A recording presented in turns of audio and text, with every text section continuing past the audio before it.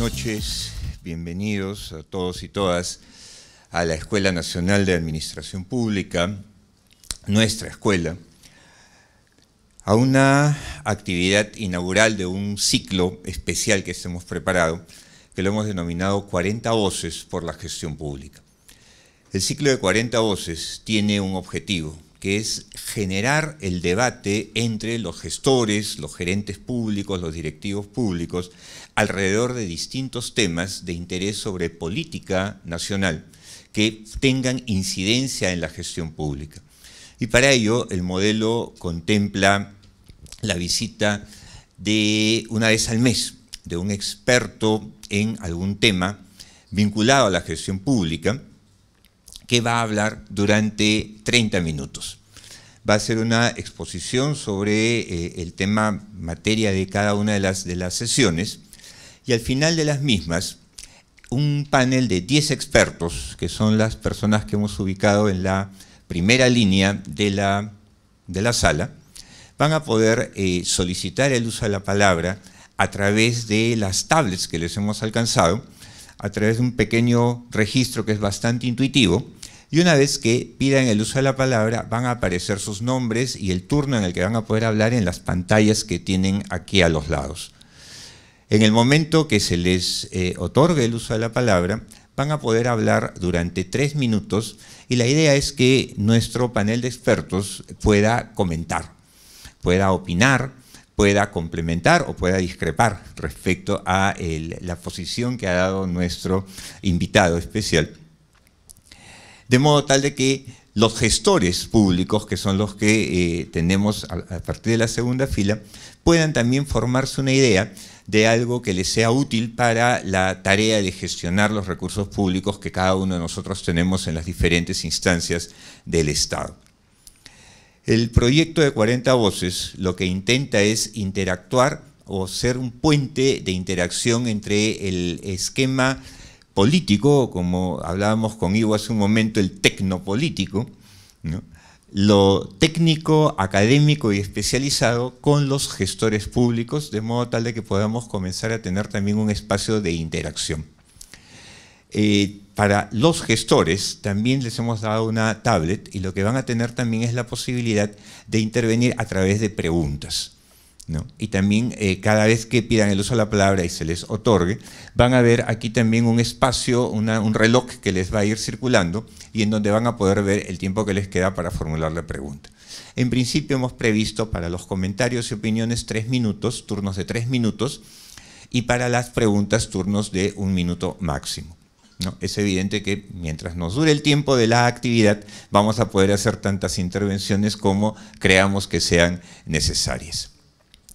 Para este eh, primer 40 voces tenemos como invitado a Ivo Gagliuffi Piersecci, o Piersecci. Ivo es el presidente del Consejo Directivo del Instituto Nacional de Defensa de la Competencia y de la Protección de la Propiedad Intelectual Indecopi desde septiembre del año pasado. Es abogado por la Universidad de Lima y cuenta con posgrados en instituciones jurídicas de economía en el mercado en la Universidad Peruana de Ciencias Aplicadas en Derecho de la Competencia y Propiedad Intelectual por la Universidad de Salamanca y Defensa de la Competencia en Sectores de Infraestructura por la Universidad Argentina de Derecho de la Empresa UADE. Su experiencia laboral, o en su experiencia laboral, colaboró en la Gerencia General del Poder Judicial para luego incorporarse al estudio Ferrero Abogados y posteriormente hacerse socio del estudio Lazo de Romania y Gagliuffi. Se ha especializado en temas de competencia y protección al consumidor, publicidad comercial, propiedad intelectual, derecho administrativo y contratación pública. También ha realizado trabajos en derecho concursal, reestructuración patrimonial y eliminación de barreras burocráticas. Cuenta con varias publicaciones sobre temas de su especialidad, ha sido docente en la Universidad de Lima y expositor en numerosos eventos. Bienvenido, Ivo, a servir tu casa y la escuela también. Buenas noches.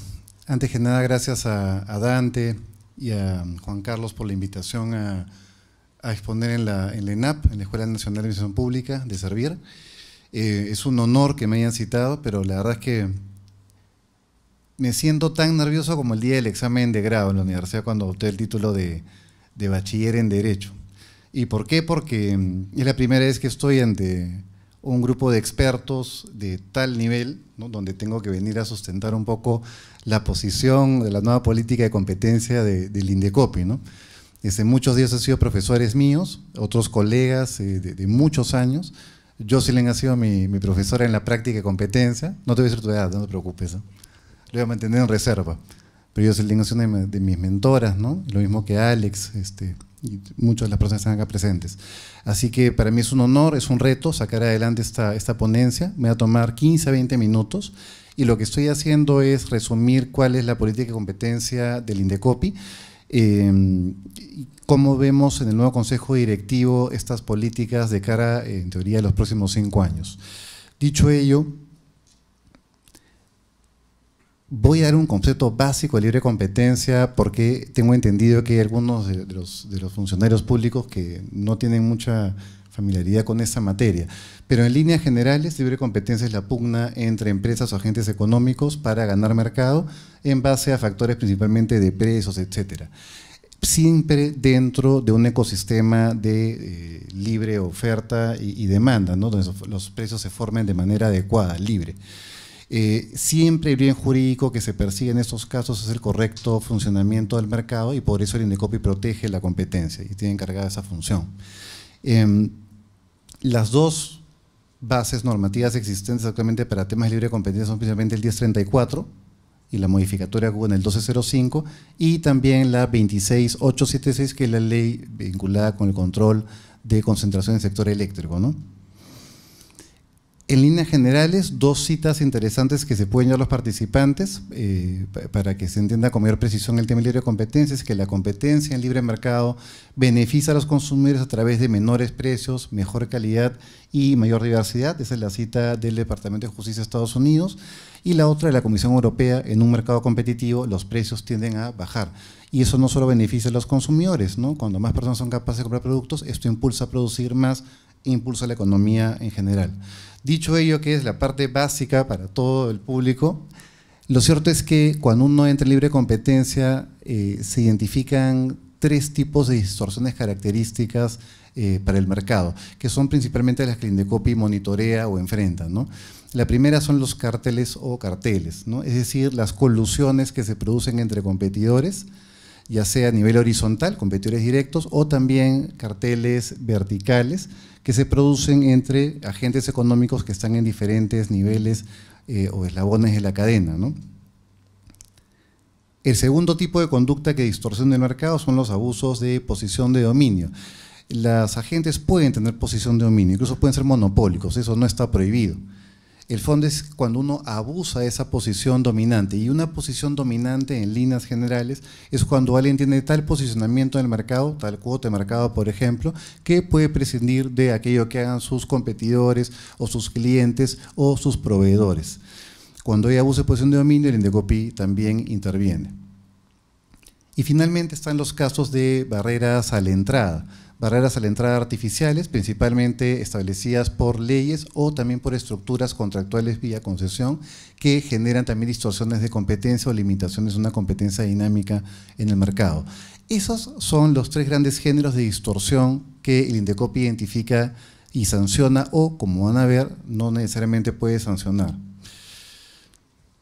Definitivamente la distorsión más dañina son los carteles, ¿no? Datos interesantes que pueden tener en consideración. 16 casos importantes de carteles entre el año 96 y el 2000 afectaron a 55 mil millones de dólares de comercio a nivel mundial. Esa es data de la OSD del 2002. Otro dato interesante, entre los años 90 y 2005, los sobreprecios por cárteles alcanzaron hasta 500 mil millones de dólares a nivel mundial. Ese es un paper de Connor y Helmers del 2006. Otro dato interesante, y el último es que entre el año 90 y el 2007, debido a la actividad de los cárteles, los consumidores en Latinoamérica pagaron en exceso 35 mil millones de dólares. Otro dato del profesor Connor del año 2009. Sería interesante contar con data un poco más actualizada, pero es la que pudimos identificar a nivel de cifras. Ahora, definitivamente una autoridad encargada de hablar por la libre competencia en el Perú, ¿no? principalmente es el INDECOPI, a través de la Secretaría Técnica y la Comisión de Defensa de la Libre Competencia en primera instancia y la Sala de Defensa de la Competencia del Tribunal en segunda instancia. Pero tiene dos características o perfiles el Indecopi a nivel de competencia. El primero es que es un órgano sancionador. Es decir, si identificamos una conducta anticompetitiva, lo que hace la comisión luego de un procedimiento adecuado es imponer una sanción. No solo impone una sanción, sino que también puede dictar medidas correctivas y declarar una infracción. Eh, eso lo vamos a hacer un poquito más adelante, pero es un órgano con eh, músculo y con dientes ¿no? para sancionar. Pero el segundo, y es algo que está dentro de la nueva visión de las agencias de competencia a nivel mundial, es tener un rol promotor también de la dinámica de la competencia en el mercado. No todo es sancionar, sino también es educar, es promover, es identificar mercados para dinamizarlos. Y eso es parte de lo que la AICM principalmente, que es un poco el gremio o el cartel, como se dice, de agencias de competencia a nivel mundial, está proponiendo en las últimas reuniones. ¿Con qué herramientas de detección cuenta el Indecopi para identificar eh, conductas anticompetitivas en general? Este es un tema bien interesante, que es más operativo. La Comisión de Libre Competencia, a nivel de la Secretaría Técnica, lo que hace es un trabajo de monitoreo de precios constante. Definitivamente el monitoreo de precios está enfocado en mercados con mayor sensibilidad. No puedo revelar cuáles son exactamente esos eh, sectores, pero son sectores vinculados con canasta básica y sectores vinculados con sensibilidad productiva. ¿No? Se hace un monitoreo constante, incluso hay especialistas para esos determinados sectores y se usan herramientas tecnológicas para hacer el seguimiento, tanto herramientas del propio Indecopi como herramientas en coordinación con otros órganos reguladores. Vamos a ver profundidad más adelante del tema. La segunda herramienta de detección son las denuncias de parte, que contrariamente a lo que uno puede pensar, no son las que llevan un poco la, la, la batuta la mayoría de los casos en el Indecopi pero definitivamente las denuncias de parte y sobre todo también las denuncias informativas en las cuales el denunciante prefiere no liderar el caso son comunes en la entidad. Tercera herramienta de detección, las visitas inspectivas. ¿no? El Indecopi desde hace muchos años, de, incluso con el 807, ya tenía una serie de facultades que otras entidades no tenían facultades muy sólidas, muy fuertes para investigar y sancionar. Investigaciones que nos permiten, como se dice, patear la puerta, entrar a las empresas, levantar información, levantar discos duros, llevarnos computadoras, fotocopiar documentos, etcétera, etcétera, etcétera. Eso le da mucha fuerza y mucho poder de acción al Indecopi en la práctica. La cuarta herramienta son los programas de clemencia. Eso va a tener una, eh, eh, un espacio aparte en la exposición los programas de clemencia, de una u otra manera, son la nueva visión que tienen las agencias de competencia a nivel mundial. Es decir, la delación compensada, ¿no? la posibilidad de dar carteles ocultos, pero por delación o por acusación de los propios participantes en el cartel. Eso genera una serie de ahorros de costos de detección muy importantes y al mismo tiempo potencia una serie de revelaciones y desactivaciones de carteles que afectan mercados. Y por último, esto creo que no se había comentado anteriormente, pero vamos a revelarlo ante todo el público como primicia para la escuela, el laboratorio forense. Indecopi, poca gente lo sabe, no es que tiene una persona que tiene una computadora que a su vez tiene un software para detectar algo, tiene un laboratorio. Un laboratorio con una serie de softwares muy avanzados que solamente se venden a estados, ¿no? a los cuales los privados no acceden en muchos casos, y la idea de estos laboratorios forenses es tener actualmente tres o cuatro especialistas que constantemente lo que hacen es, en base a la información que se levanta, procesarla. Tienen softwares de alta tecnología forenses y actualmente el Indecop incluso está ya reforzándolos con una segunda generación de software, lo que nos va a permitir hacer un alcance mucho mayor y más rápido a la información que se levante en vistas inspectivas. Así que estas son las cinco herramientas de detección con las que contamos en el Indecopi para identificar y sancionar conductas anticompetitivas. A nivel de monitoreo de precios, por ejemplo, para aquellos que no están familiarizados con temas de competencia, eh, el monitoreo de precios lo que hacen los equipos eh, a cargo del tema es que tienen dos variables básicas. Esto es mucho más complejo, pero queremos llevarlo a un plano muy esencial. Se analizan, por un lado, la línea del costo de insumo del producto y, en segundo lugar, el precio del producto. Por lo general, el gap o brecha entre ambas líneas es constante. Cuando se produce, por ejemplo, un hipo, como pueden ver en la línea naranja en cuanto al precio del producto, no se genera evidentemente un caso de eh, anticompetitivo, pero sí se genera un indicio, es decir, se genera una alerta en la práctica. Y esa alerta puede motivar a la agencia de competencia a investigar con mayor detalle por qué se ha producido ese hipo. muchas veces se puede explicar en base a una coyuntura económica, un tema de demanda, de escasez, etcétera pero en otras oportunidades sí puede ser la piedra de inicio de un caso. Ahora hay que tener mucho cuidado con los hipos. Recientemente, el año pasado, ya en mi gestión, en octubre, noviembre, hubo una, por ejemplo, ¿no? hubo un incremento del precio de la leche. Y lo primero que acusaron a nivel político es que eso era una clara eh, prueba, una clara prueba de la existencia de una eh, colusión ¿no? contra la ciudadanía respecto de un eh, producto de la canasta básica. Cuando se analiza esa situación, y eso, esos análisis se hacen en coordinación con BCR, por ejemplo, o con data del INEI y otras fuentes, se llega a la conclusión que efectivamente la leche importada eh, había reducido su ingreso al Perú, pero ¿por qué? Porque el fenómeno del niño, que uno piensa que solo pasa por la costa sudamericana, había llegado a Oceanía, por la fuerza que había tenido el año pasado. Al llegar a Oceanía impacta en todo lo que eran los pastos en Nueva Zelanda y Nueva Zelanda es el principal productor de leche, sobre todo leche en polvo, que exporta a muchos países, entre ellos el Perú. Como se ve impactada la producción de leche neozelandesa, eso impacta definitivamente la importación peruana, produce una escasez y genera una elevación del precio de la leche. Eso genera una explicación alternativa a ese hipo de precios y eso evidentemente descarta la eventualidad de que el INDECOP inicie un caso o una investigación más profunda. Por eso hay que tener cuidado, hay que ser muy prudentes con ese tipo de investigaciones de monitoreos de precios precios y costos pierden correlación, se activa alerta. Esa es la ecuación básica, pero no es la prueba. A nivel de denuncias, datos interesantes. Como les decía, a pesar de lo que uno piensa, no hay tantas denuncias de parte. 2011, 2, 2012, 7 fue el pico, 2013, 1, 2014, 3, 2015, 2, 2016, 4. Y a nivel de casos abiertos de oficio, 2, 2011, 4, 2012, 4, 2013, ahí se fueron hasta el 2103, el 2013. 3, 2014, 5 en el 2015 y 3 en el 2016. Ojo, parece poco, ¿no? Pero para los especialistas en materia de competencia saben de que es bastante. Me refiero a que los casos de competencia son casos muy sofisticados, con mucha data económica, estadística y además con articulaciones legales complejas. Por eso aparentemente que en el 2016 hayan habido en conjunto siete casos, no es poco. Es algo muy complejo, sobre todo cuando de una u otra manera hay que reconocerlo, tenemos una Secretaría Técnica muy profesional, muy activa, muy comprometida, pero con otra manera, cuando se la compara con sus pares, tanto en Colombia, por ejemplo, Chile, tienen recursos humanos todavía muy acotados. Estamos trabajando quizás en mejorarlo datos estadísticos interesantes. ¿no? Chile tiene un área de competencia para investigar casos de aproximadamente 110 personas. Colombia tiene un equipo de 90 y pico personas. Nuestra Secretaría Técnica de Libre Competencia tiene un equipo de 25 personas, incluyendo los practicantes. ¿De acuerdo? Entonces estamos trabajando en mejorar ello. Eh, no es una queja de los recursos, pero sí hay que aterrizar este tipo de data para que los stakeholders o los usuarios también sean conscientes de cuáles pueden ser las limitaciones para generar más casuística. Ya la posición sobre control de fusiones ya la expresaba en el Congreso, tiene vinculación también con recursos como lo sabe el doctor Tábara, pero podemos conversarlo ahora también. También a nivel de herramientas de detección, ¿no? hablábamos de las vistas inspectivas.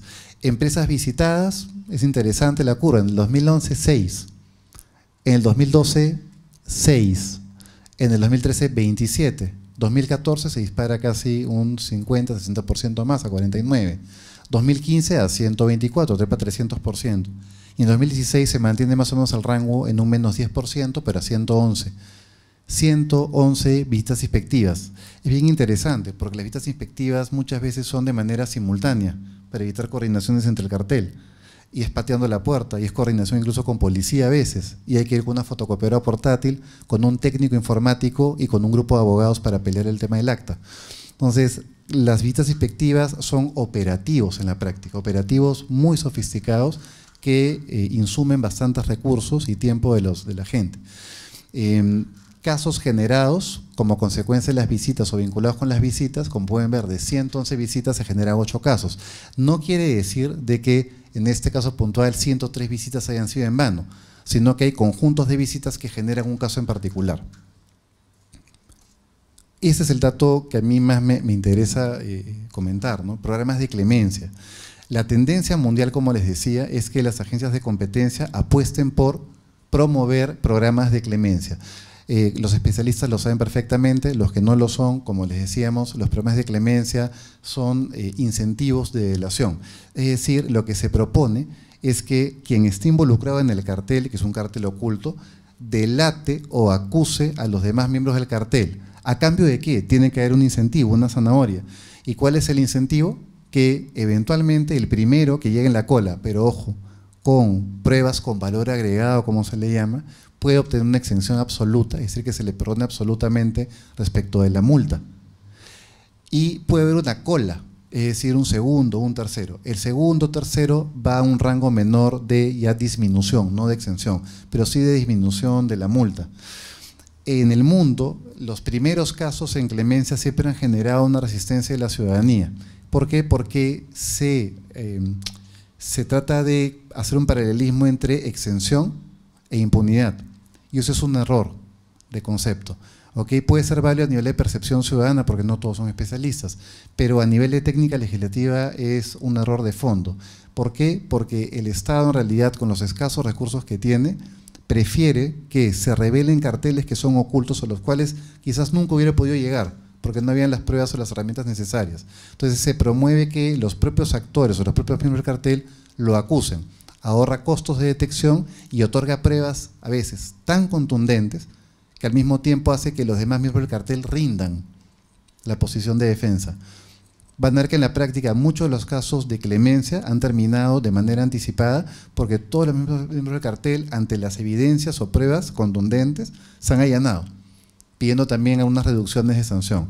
Es preferible que el Estado deje de recaudar multa, pero que inmediatamente se corrija el mercado. Esa es la compensación de los programas de clemencia y por eso hay que verlos de manera positiva. Además que se hace de manera positiva en, las principales economías. Laboratorio forense, como les decíamos, ¿qué busca el laboratorio forense? Dos potencialidades. La primera, recopilación, procesamiento y análisis de evidencias en corto tiempo. Lo que antes tomaba de manera manual meses, ahora puede tomar de manera virtual o digital semanas o días y queremos ganar tiempos para resolver de manera adecuada los casos. Y hay un tema bien interesante, que esto es parte de la especialidad.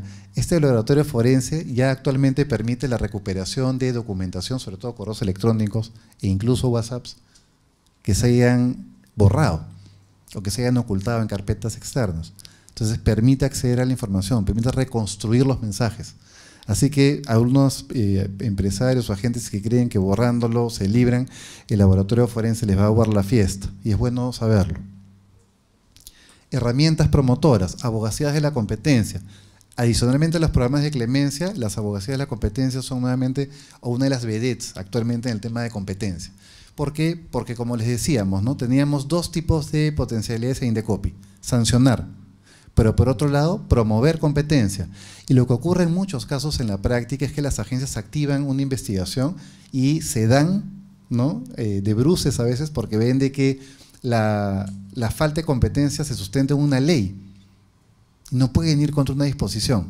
O se dan cuenta que hay falta de eh, competencia en un mercado determinado por la estructura misma de ese mercado y lo que hace la agencia de competencia y tiene una gran ventaja es que identifica el mercado, es decir, tiene la posibilidad de ver a qué mercado ataca, es decir, es preventivo, es planeado, no es reactivo.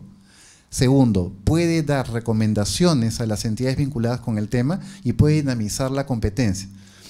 Hay casos bien interesantes que el INDECOPI ya ha sacado adelante, específicamente cinco abogacías de la competencia.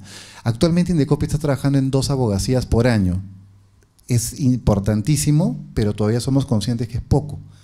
Eh, en la OCDE, en la reunión que hubo en París en diciembre, donde estuvimos presentes con, Jesús Espinosa, uno de los temas principales en los cuales el Foro Global de Competencia apostaba era por promover en las agencias de competencia que participaban que se cuente con un departamento de abogacía de la competencia, con un departamento de abogacía de la competencia, compuesto principalmente por economistas que ha hecho el Indecopia a la fecha algo bastante meritorio. Cinco abogacías. Mercado de servicio de brevetes, ¿no? de manejo práctico en la región Lima.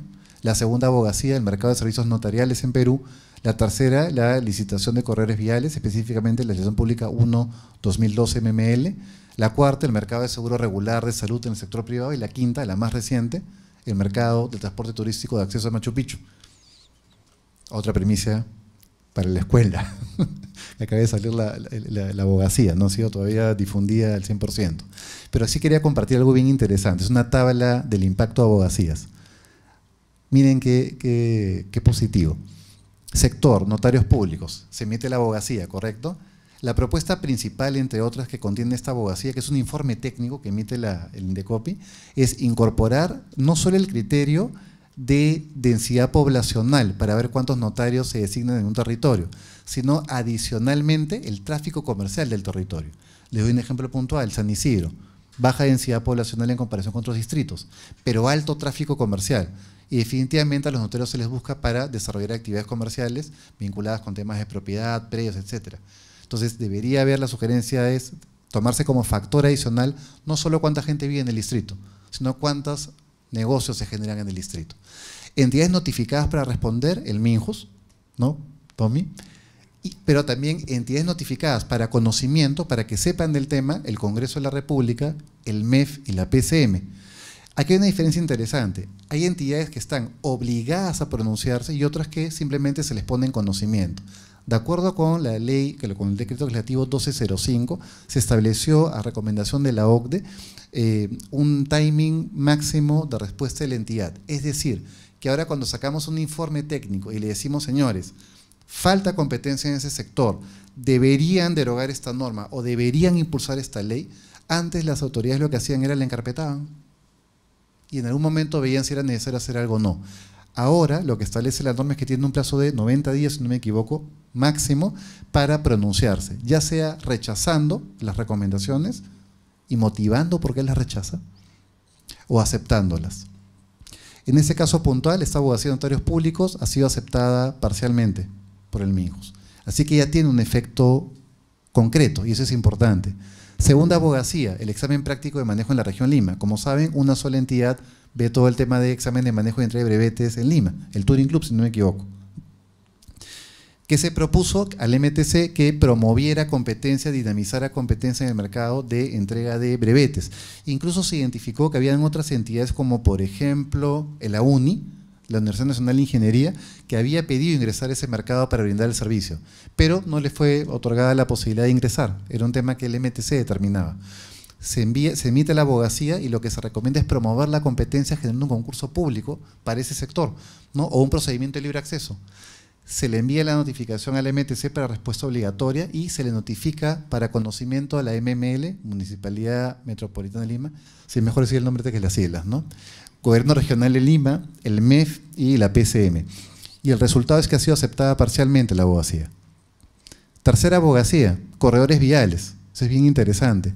Propuesta principal, no privilegiar injustificadamente en las licitaciones la participación de empresas que ya operan en rutas licitadas al utilizar como criterio de selección la sobreposición de recorridos. Y además, no facilitar el intercambio de información entre postores. Entidad notificada, Municipalidad de Lima.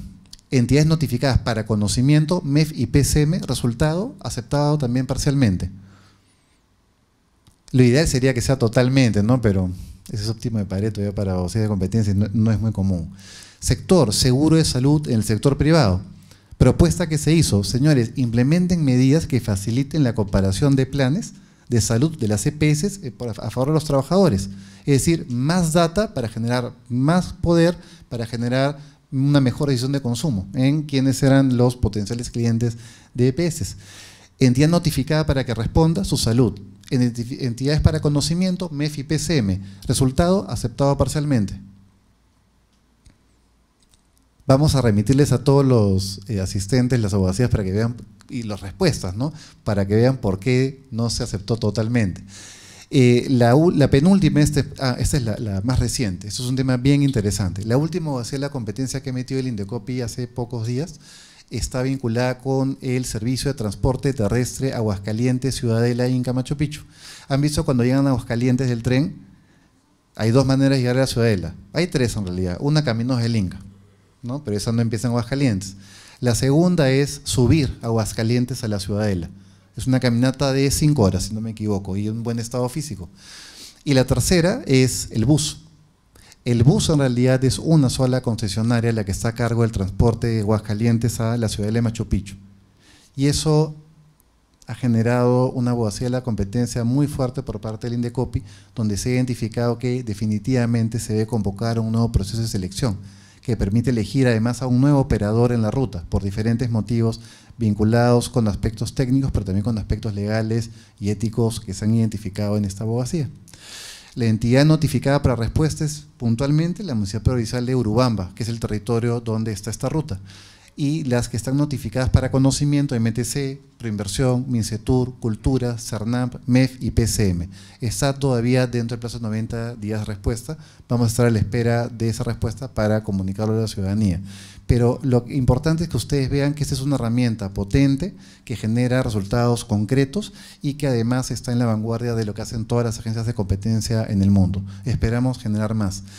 ¿Y cuál es la agenda pendiente para concluir? Agenda pendiente, en primer lugar, respecto a sancionadores. Estos son compromisos que yo sé que me van a, por los cuales me van a pedir cuentas después, pero hay que asumirlos. Es parte del reto que tiene un servidor público en la gestión.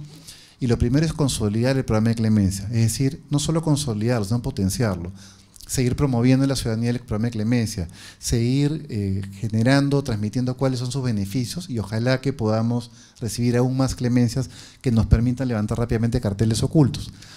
Segunda eh, agenda pendiente, eh, laboratorio forense, hay un plan de inversión continua. Se están destinando recursos en el presupuesto de este año a seguir contratando más personal y sobre todo más tecnología de softwares que permitan analizar mejor la, data. Así que hay un compromiso que ya está por escrito en el presupuesto público de Indecopi de esta gestión.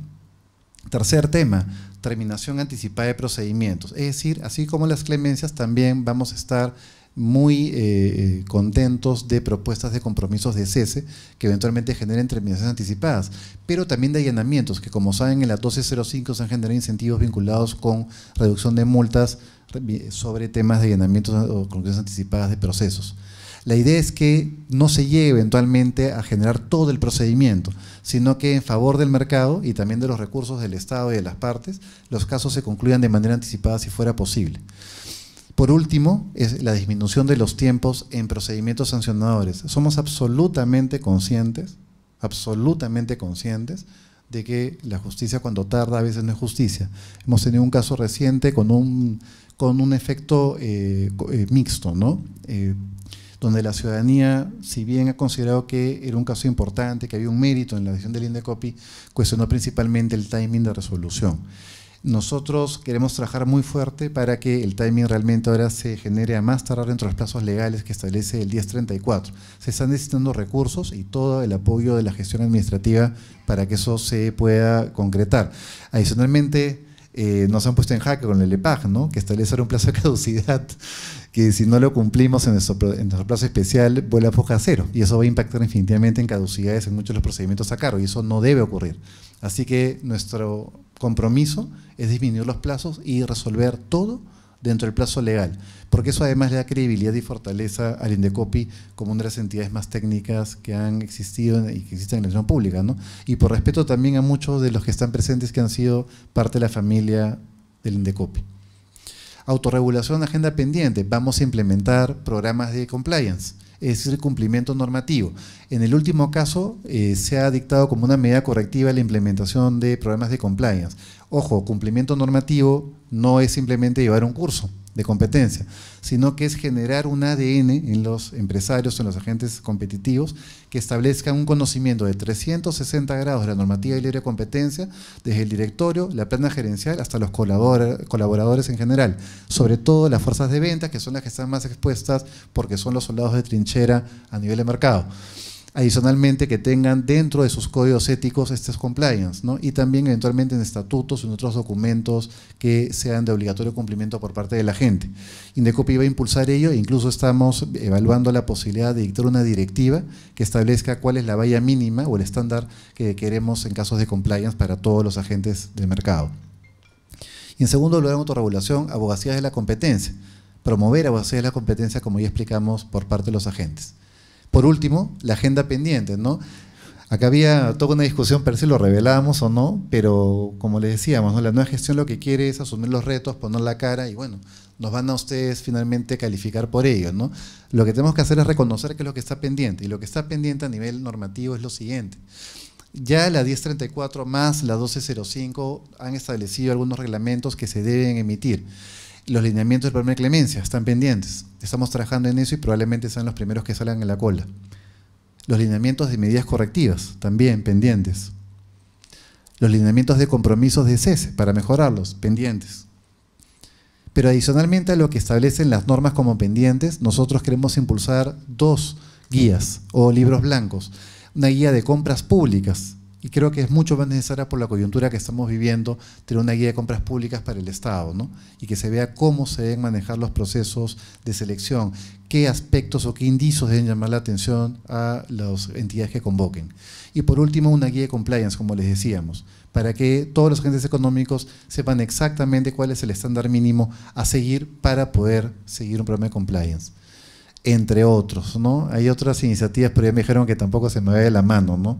Pero hay mucho entusiasmo en la gestión, muchas ganas de mejorar, muchas ganas de seguir generando credibilidad y confianza en los actores, mejorar el timing de resolución, mantener la calidad resolutiva que tienen los órganos y dotar de más recursos y tecnología a los funcionarios del INDECOPI.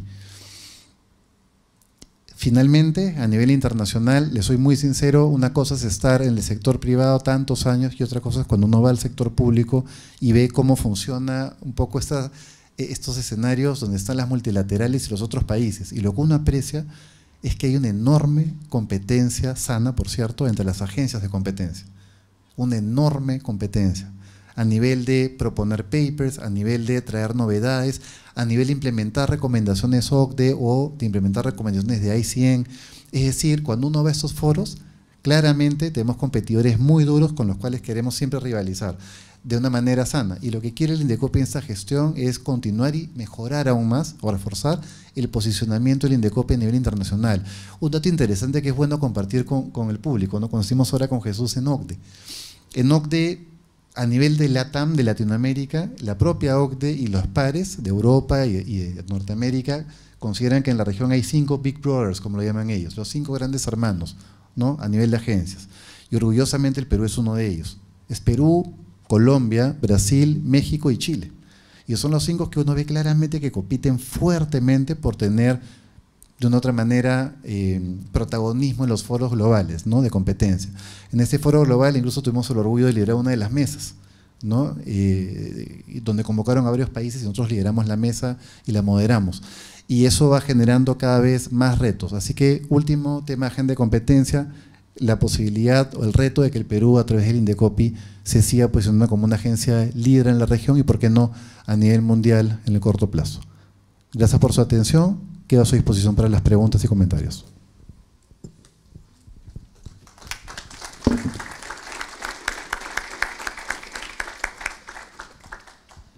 Gracias. Gracias, Ivo. Eh, sin duda interesante el, resumen acerca de lo que se ha hecho, se está haciendo y probablemente lo que se hará, se hará en el futuro cercano en materia de política de competencia. Eh, ya, ya tengo un, primer apuntado para, poder comentar la, exposición. En todo caso, les recuerdo que a través de la tablet pueden eh, apuntarse para pedir el uso de la palabra, sea como expertos comentaristas por tres minutos o sea como eh, preguntas por, por un minuto. Conforme vayan haciendo las preguntas, sus nombres y el orden en el que las van a hacer, van a aparecer en las pantallas. Bueno, va a aparecer en la pantalla que está aquí a mi derecha y en la pantalla de acá a la izquierda me va a aparecer el reloj contador con el tiempo que les queda para formular la pregunta. Y este, Ivo y yo tenemos la ventaja de poder verlo todo ahí al frente, en pantalla especial. Sobre la presentación, Ivo, me, me parece que hay temas muy, muy importantes. Voy a tratar de plantear algo más bien alternativo a lo que se ha planteado y es que eh, me parece, 20 años después de, que he empezado toda la, idea de aplicar normas de competencia, siento que seguimos haciendo normas de competencia para Lima. No, no veo énfasis en descentralizar, en poner el ojo y llevar Indecopi y hacer presente Indecopi o la labor de Indecopi de manera contundente en, en el interior del país. Lo veo bastante en Lima, Callao, eventualmente, algunas ciudades muy, muy eh, digamos, muy grandes en el país, pero no, no una labor consistente de, llevarla, de llevar la presencia de, la autoridad allá. Eh, en los casos, por ejemplo, de carteles, el tema de patear la puerta, como tú le has dicho, o sea, no sé, quisiera, obviamente yo sé que ustedes no pueden hacer público eso, pero quisiera pensar que gran parte de la actividad esa de patear puertas se puede estar haciendo, por ejemplo, dentro del país, no en empresas aquí en Lima, sino dentro del país, eh, y que sea efectivo, ¿no? que genere casos. Yo hace unos dos años hice un barrido largo de temas de, investigaciones, de casos resueltos sobre eh, ciudades del interior del país y encontré que era bien pobre, bien pobre para decirlo menos, y en los últimos años había incrementado, sin duda, sin duda había incrementado la actividad, pero eh, era todavía débil y además muy concentrada en sectores reiterativos, transporte de pasajeros, eh, panaderos, o sea, sectores que uno podría decir, bueno, de repente hay otros que tienen mucho más impacto eh, en economías del interior del país, entonces eso creo que es un tema que falta, obviamente no lo estoy achacando a, esta gestión ni nada por el estilo, pero creo que ahí habría que poner énfasis y, de hecho no lo he visto, no lo he visto planteado ahí. un caso interesante, por ejemplo, con, implicancias en todo el país es este oxígeno medicinal, sin duda, pero quisiera o, entendería que esa sería un buen enfoque, ¿no? Tratar de hacer casos de ese tipo que sean no solo para Lima, como digo. Con los casos de abuso de posición de dominio, me parece que eh, no se está haciendo un gran enfoque en eso y en principio estoy de acuerdo. Mejor es preocuparte por carteles, pero los abusos de posición de dominio de repente en pequeñas economías, en ciudades al interior del país, en departamentos dentro del país, eh, resolver un caso de abuso de posición de dominio de repente resuelve muchos temas. Y si se hace de oficio, bien identificada la situación, creo que también serviría mucho para posicionar al Indecopi como un ente fuerte en, el interior del país. Y lo último que plantearía son temas de abogacías, pero las que he visto me parecen buenas, muy buenas, pero tal vez abogacías respecto de ayudas estatales. Es algo que no, no veo presente y me parece que sería muy importante, es decir, que el Estado esté generando que algún agente esté en mejor posición que otro, ¿cierto? A través de políticas, saber de decisiones, de actos administrativos, etcétera. Me parece que eso sería mucho más útil y para eso yo haría ya una interacción entre barreras de acceso y, libre competencia. Me parece que eso es algo que, que todavía falta, tal vez con las últimas normas que se han dictado, se pueda ir por ese camino, pero creo que también debería estar en la, en la agenda. Gracias, gracias Eduardo. Este, por si acaso, lo que, lo que están viendo aquí en la, en la pizarra de mi, de mi mano izquierda es cuando comienza la intervención un reloj que da la vuelta en un minuto en color verde, es el primer minuto. Después el minuto vuelve a dar la vuelta en color amarillo, sería la luz ámbar y la tercera vuelta es la del color rojo. Ya cuando les aparece el logo de la escuela quiere decir que este, nos hemos pasado un poquito del, tiempo permitido. Eh, gracias, Eduardo. Casi, casi la aciertas con, el tiempo destinado. Bien, eh, enseguidamente ha pedido el uso de la palabra, este, o salvo que quieras comentar algo. Sí, por favor. Por favor. 30 segundos. Eduardo, gracias por, los comentarios y por las propuestas constructivas para, la nueva gestión. temas bien interesantes. Eh, a nivel nacional, data para compartir. Primero, efectivamente, salvo Piura, no tenemos ninguna delegación de facultades en materia de libre competencia a ninguna de las 24 horas a nivel nacional. ¿De acuerdo? es cierto. Es decir, eso lo que revela es que no ha habido una profundización del tema de libre competencia en las ORIS. Eso responde principalmente a un tema de recursos, porque se requiere gente con mucha especialidad para poder llevar a cabo este tema adelante. Y nos ha llevado a centralizar todo lo que es investigaciones en Lima.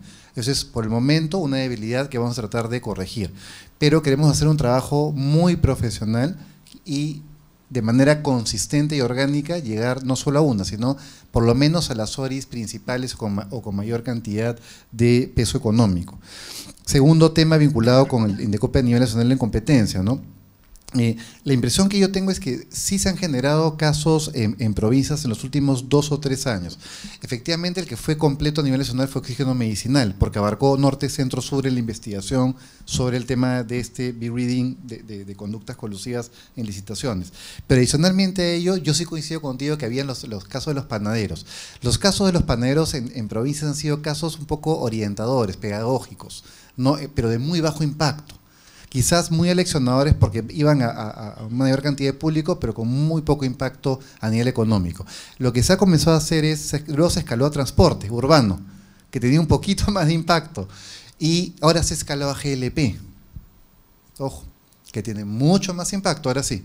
Entonces, donde se ha comenzado a escalar a nivel de casos en provincias es GLP. Actualmente hay investigaciones y ya procedimientos abiertos, sobre todo en el norte del país. Las plazas principales de investigación, Chimbote y eh, Chiclayo. Así que por lo menos ya se generan algunos casos que van a ir contagiando, esperamos nosotros, a otras ORIs. En las próximas semanas probablemente vean nuevos casos en, provincias, pero son temas al, mando de, las comisiones último tema vinculado a nivel nacional, ¿no? de provincias. La última abogacía de la competencia sí genera ahora esa visión de que vamos un poco a provincias a identificar casos para dinamizar. Por eso, a diferencia de las cuatro primeras, la quinta es Machu Picchu. ¿no? Entonces, vamos por esa línea, pero es, es muy válido y es muy oportuna la observación. Casos de abuso de posición de dominio, efectivamente, hay un dato bien interesante. Todos los casos de abuso de posición de dominio han llegado por denuncia de parte. ¿De acuerdo? Es decir, el Indecopi se ha enfocado principalmente a carteles. ¿Por qué? Porque partimos de la premisa que los carteles son los, más dañinos. ¿ok? definitivamente, si tuviéramos más alcance, nos podríamos enfocar en posición de sobre todo en temas emblemáticos a nivel de provincias para dinamizar. Pero por el momento, Indecopi tiene una política más eh, pasiva de recibir casos de abuso de posición. No descartamos comenzar a atacar eventualmente, pero como decíamos, es criterio de Secretaría Técnica y de Comisión hacerlo, pero levantamos esa, esa, propuesta. y por último, abogacía, vincula, o sea, temas vinculados con ayudas estatales.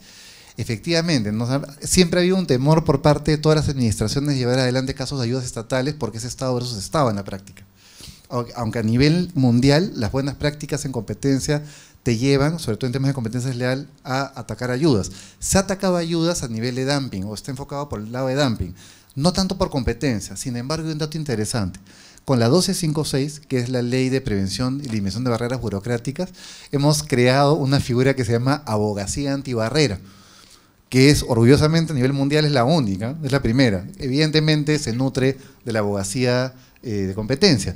¿Qué hemos buscado con eso, Eduardo? Generar algún tipo de ataque de ayuda estatal. Efectivamente, pueden haber casos en los cuales las barreras, lo que generan en la práctica con prohibiciones, con tasas, con condicionamientos, es privilegiar a algunos actores respecto de otros. Con la norma antibarreras se busca poner el suelo plano. ¿ok? Y con la abogacía antibarreras vamos a ir más allá, porque nos va a permitir, incluso en los casos donde la barrera está a nivel de una norma de rango legal, no vamos a poder eliminarla porque no nos da la, competencia, pero sí podemos emitir un informe técnico para levantar esa barrera. Entre ellas podrían estar ayudas estatales. Pero sí, tomamos nota de las tres recomendaciones y gracias más bien. Gracias. Robert Venero tiene el uso de la palabra. Volteamos el, nuestro semáforo cronómetro. Muchas gracias. Eh, dentro de todas las iniciativas que has planteado Ivo a modo de retos para la institución, bueno, la salud las comparto, pero en particular quería detenerme en una, que es la de la guía de compras públicas. Y, lo, linkeo principalmente con la problemática o dificultad que puede haber para detectar los cárteles. Eh, como tú lo has dicho, su probanza es bastante difícil. Entonces pienso que el Indecopi hace bien en asumir un rol preventivo en ese aspecto. El Estado es sin duda alguna el principal comprador en el país. Y dentro de las personas que vemos estos temas, sabemos que hay ciertas prácticas que pueden facilitar la existencia de cárteles. Y creo que ahí hay mucho por atacar, porque justamente el Estado, por razones diferentes a una lógica de competencia, suele estandarizar productos, hacerlos homogéneos, y si eso se da en un mercado donde hay pocos jugadores, facilita la existencia de un cártel. ¿no?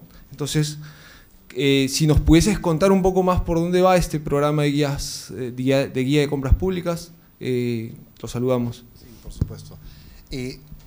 La directiva de guía de compras públicas lo que va a perseguir efectivamente es establecer lineamientos, una guía orientativa, un libro blanco a las entidades del Estado cuando convoquen a licitaciones públicas o cualquier tipo de concurso público. ¿A qué nos referimos? A que se les van a establecer pautas básicas y alertas mínimas. ¿Para qué? Para que las entidades puedan de una otra manera, al elaborar las bases, por ejemplo, evitar incluir una serie de disposiciones que puedan promover algunos acuerdos tácitos, primer tema. Segundo tema, también les va a dar pautas de identificación de carteles. En base a la experiencia oxígeno medicinal, si hubiéramos tenido una guía de compra pública, quizás salud hubiera podido identificar el tema mucho más rápido. Ojo, salud lo hizo, pero le tomó más tiempo, porque habían dudas básicas de concepto de competencia para que luego recién haya contactado al Indecopi. Con esta guía lo que buscamos es que antes, de manera preventiva, las entidades tengan la posibilidad de detectar las conductas, ¿ok? Y también eh, plantearlas ante la entidad. Un dato adicional, no puedo profundizar mucho porque hay un tema también de reserva, pero lo que sí es interesante es que la guía de compras públicas es un documento que se está haciendo a partir de lineamientos construidos o normas modelo, tanto de la UNTAD, si no me equivoco Jesús, como de Compal, como a través de la OSD que sí tienen guías o tienen documentos o papers de, compras públicas. Es decir, no vamos a, crear la pólvora. Lo que vamos a hacer es tomar las mejores prácticas, a construir un documento, vamos a llamarlo tropicalizado, peruanizado por la, por la experiencia nuestra, para hacerlo muy potente y muy útil a, los, a, las entidades públicas. Bien. Armando Cáceres. Gracias. Eh, bueno, sí, primero felicitar, creo que el, sí es importante algunas de las cosas que has dicho, ¿no? Por ejemplo, estas cosas de tratar de reducir tiempos, ¿no? Este, probablemente tampoco vale la pena contar mucho de los laboratorios forenses porque tampoco debería enterarse mucho, ¿no? Lo que, lo que me preocupa a veces un poco es que eh, está bien, no Indecopy, ¿no? Y la parte de libre competencia puede ser muy eficiente, pero a veces puede correr el riesgo de quedarse un poco solo, en el sentido de que, no, está bien, ¿no? O sea, se puede desarrollar una, una visión más institucional, ¿no? Tratar de que se crezca con eso, ¿no? Pero al final el tema de competencia, si no se comparte un poco entre todo el resto del sector público, es un poco difícil, ¿no? O sea, de alguna manera, eh, no sé si, si amerita incluir algún tipo de, de prueba de competencia en lo que es análisis de impacto regulatorio o esas cosas que podría ser algo más extremo, ¿no? Pero, pero en realidad, si el tema de competencia es un tema que debería verse en todas partes, ¿no? También eh, lo de la abogacía, por ejemplo, es importante, ¿no? Pero ¿cuántos sectores pueden ustedes ver, digamos, ¿no? Versus este, lo que cada uno de, ¿no? Cada este, autoridad pública o cada este, funcionario público podría ver, ¿no? Estas cosas lo que puede hacer la escuela a través de eso creo que es importante, pero... Eh, y la verdad es que eh, en tema de competencia fuera de, Indecopio, fuera, digamos, de, Porque ahora, digamos, hay sí hay una masa crítica un poco mayor en estos temas, ¿no? Pero en la mayoría del sector público no existe un poco esta idea, ¿no? si hay un tema de competencia, este, será responsabilidad del Indecopio, ¿no? No es responsabilidad de nadie más. Este, incluso en lo, curioso es cuando uno habla, por ejemplo, con gente de, eh, gente que hace consultoría para el sector privado también, ¿no? En temas económicos, tampoco es que tenga una, idea clara de por qué estos temas se dan, ¿no? O sea, los que ven algunos temas de regulación específicos, ¿no? Entonces, quizá la inquietud ahí es eh, cómo eventualmente eh, se podría este, tratar de llegar más a ese resto del sector público, ¿no? O sea, para tratar de que sean socios un poco dentro de este esfuerzo de, ir avanzando en la competencia. ¿no? Sí, gracias por la observación, Armando. Efectivamente, ¿no? Eh, no hay mucho conocimiento del tema de competencia en entidades públicas, salvo el caso quizás de OCIPTEL, que tiene muy claro el tema, el INDECOPI y sobre todo los, los reguladores sobre todo como dicen los ositos, ¿no? Este, los CITRAN, los SINARMIN, los CIPTEL, las UNAS tienen conocimientos del tema de competencia. Eh, las demás entidades no se sienten muy tocadas o involucradas con, esta materia. Lo que nos corresponde es hacer dos temas de evangelización. ¿no? El primero, a través de estos lineamientos, sobre todo de compras públicas, sí nos va a permitir generar por lo menos una sensibilidad transversal sobre todas las entidades. ¿Por qué? Porque todas licitan. Entonces es una primera materia que nos va a permitir comenzar a escalar. El segundo tema está vinculado con la Escuela Nacional que tiene el INDECOPI, que de una u otra manera puede también sacar adelante cursos destinados a funcionarios públicos. Un símil que hemos tenido la semana pasada, por ejemplo, es que se ha dictado el primer curso dirigido en barreras burocráticas a funcionarios públicos. Invitamos a todos los ministerios, a todas las municipalidades de Lima Metropolitana y a todos los gobiernos regionales a través de su asociación y lo que vimos es con mucha satisfacción que fueron muchos funcionarios y se ha comenzado a generar una visión diferente sobre esa materia. Tomando en consideración esa experiencia positiva en materia de barreras, no descartamos la posibilidad de generar también cursos a funcionarios públicos sobre temas de competencia. Pero creemos que un poco la, piedra que va a generar, la, piedra angular que va a generar esta discusión es el tema de compras públicas. Es la guía que va a sensibilizar. Pero tomamos nota de la sugerencia. Gracias. Pepe Tádora, por favor. Sí, eh, yo quería agradecer la invitación y felicitarte, Ivo, me, parece una muy buena presentación. Eh, espero además el énfasis que le das a, las políticas de competencia, espero que signifique un punto de quiebre. ¿no? Yo tengo una lectura, siempre he sido muy crítico ¿no? de, lo que se ha hecho en este campo, creo que se ha hecho muy poco. Se han aplicado políticas de competencia pues, de, baja, de muy baja intensidad por diferentes este, razones. ¿no? énfasis en barreras de acceso, en fin, ha sido Em, la atención principal del, del, INECOPI. Quizá eso tiene que ver también con la cantidad de funciones, ahora, bueno, ahora ya no tiene lo de metrología, ya pasó al nuevo instituto, al INACAL, pero quizá esto permitiría pues concentrarse más, más fuerzas en estos temas de, de competencia. Las políticas de competencia operan, como todos sabemos, como parte de una constelación más amplia de este, políticas públicas. ¿no? Y cuando una política pública no funciona, bien meter competencia fuerte puede generar tensiones de, distinto tipo. ¿no? Si falla la regulación del este transporte, meter competencia genera tensiones. Si no hay buenas políticas de salud consistentes, meter competencia en salud te genera problemas. Y al mismo tiempo son fundamentales las este, políticas de competencia, sobre todo para aprovechar una fortaleza clave de las economías de mercado, que es operan como mecanismo de diseminación del poder económico y político. ¿no? Es una de las fortalezas que ha sido destacada en la literatura, pero para que esa fortaleza se logre, hay que evitar la concentración del poder económico en el Estado, del poder económico en las empresas, evitar que se concentre, ¿no? vigilar las fronteras entre el Estado y las empresas, ¿no? algo que los reguladores viven cotidianamente, y eh, estos programas de eh, compliance que tú planteas, ¿no? que es autorregulación interna, me parece fundamental que pongas el acento también en eso. ¿no?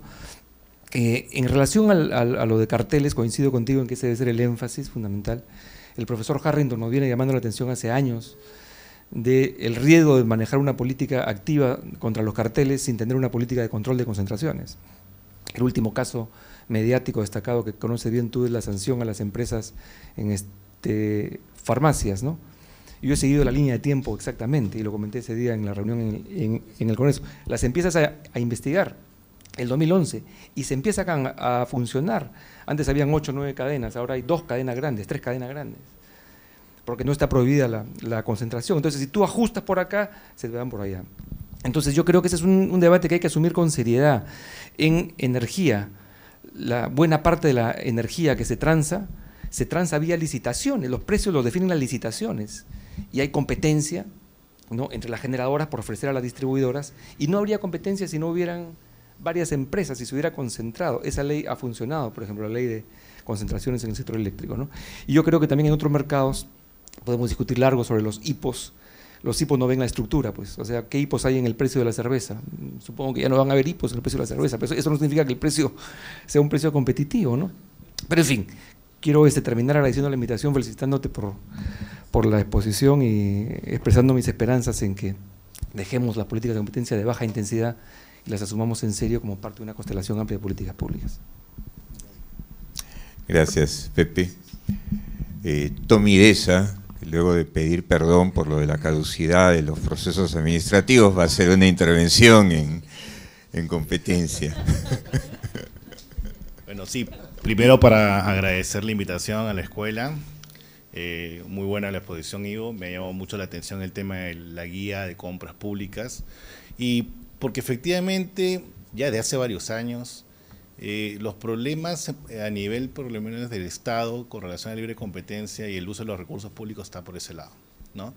Eh, y parte básicamente de cómo están estructurados, sobre todo tomando un poco el comentario de Eduardo, ¿no? de, digamos cómo están estructurados los mercados en provincia y además de las capacidades y las brechas de conocimiento por parte de los funcionarios públicos.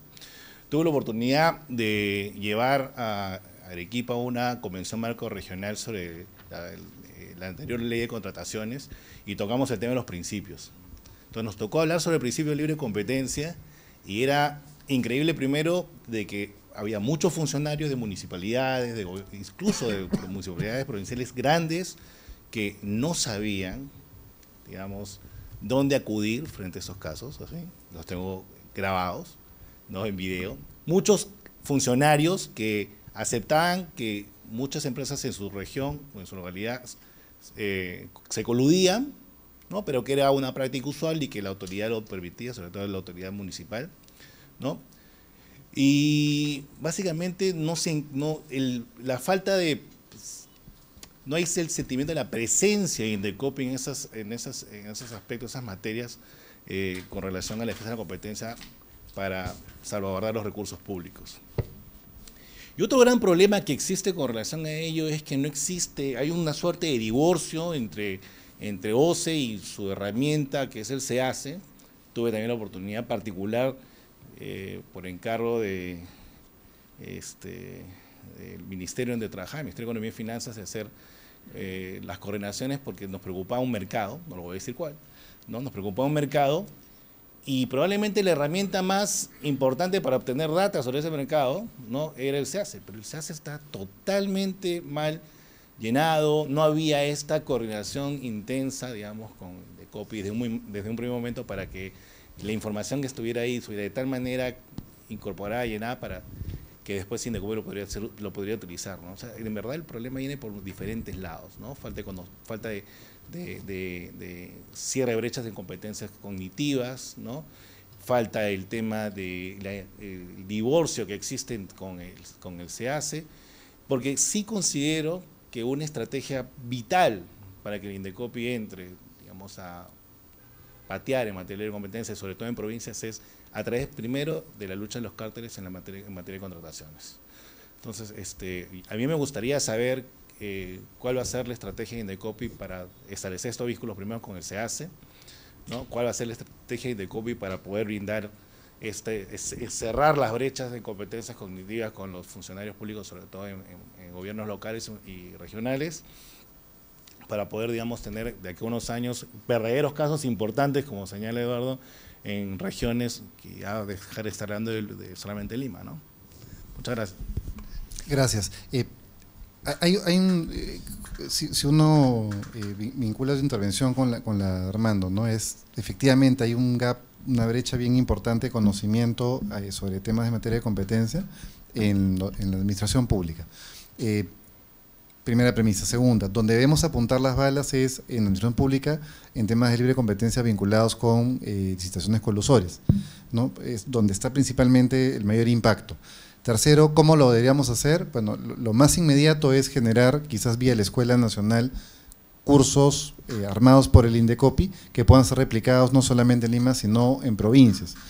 Eh, la dificultad va a ser llegar sobre todo a la administración pública de provincias que en la práctica son los gobiernos eh, locales, que son aproximadamente 1.300, 1.800.